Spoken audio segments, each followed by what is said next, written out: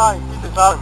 Many swimmers new to the San Francisco Bay don't know where Coghlan Beach is because it's not on the map. Coghlan Beach was named after Frank Coghlan, who was a South End Rowing Club member. Today I met Ted, who actually swam with uh, Frank Coghlan before. And he's going to tell his story about Frank Coghlan.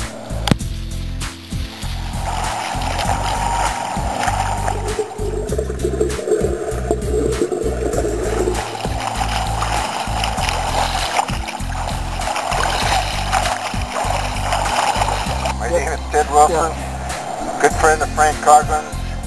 He swam with us at South City Pool for years and years and years. The instigator of the Trans Tahoe swim.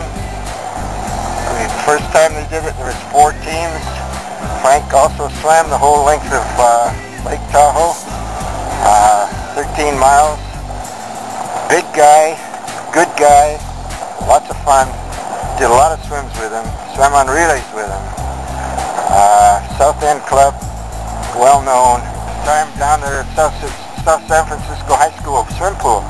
Uh, he was, uh, he would swim lap after lap and we had an exercise class going at the same time and we'd run circles and set up a current and he'd have to swim against the current. Wash him backwards all the time. He couldn't figure out what was happening to him. Frank Coghlan, uh, member of the South End Club, uh, lots of lots of friends down there. He, was well known there. I knew him as a pool swimmer. They know him as an open water swimmer. Uh, big, big. You couldn't miss him in the water because he had this stroke where he would just, his arms would come way up out of the water. Uh, lap after lap after lap. I'm going to show you where Coghlan Beach is as well.